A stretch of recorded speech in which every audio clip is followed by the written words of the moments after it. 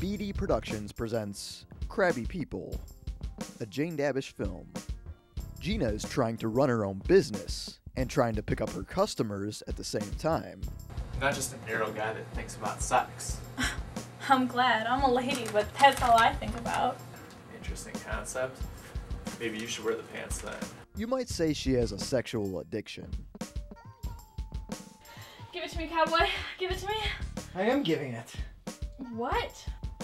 Come on, keep talking. Don't stop. Her best friend's advice doesn't seem to be helping.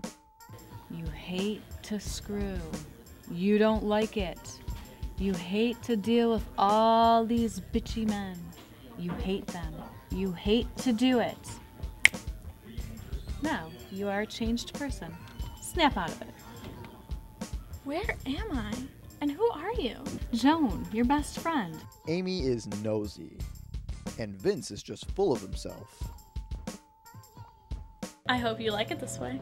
Sure, you're just like a wild animal. The wilder, the better for you. You're just like a porn slut. What did you say?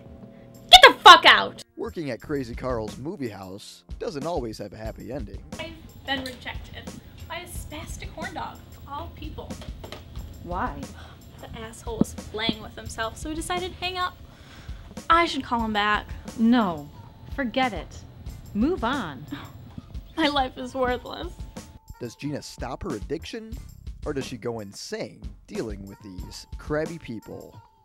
I hope that you can handle me. I'm like a superhero without a costume. Hey, wait, why are you trying to get away from me? Damn. I found myself a super sex bird. Actually, sex maniac who won't want to quit. I love driving men crazy since I'm so good at it. I can have anyone turn crabby for me.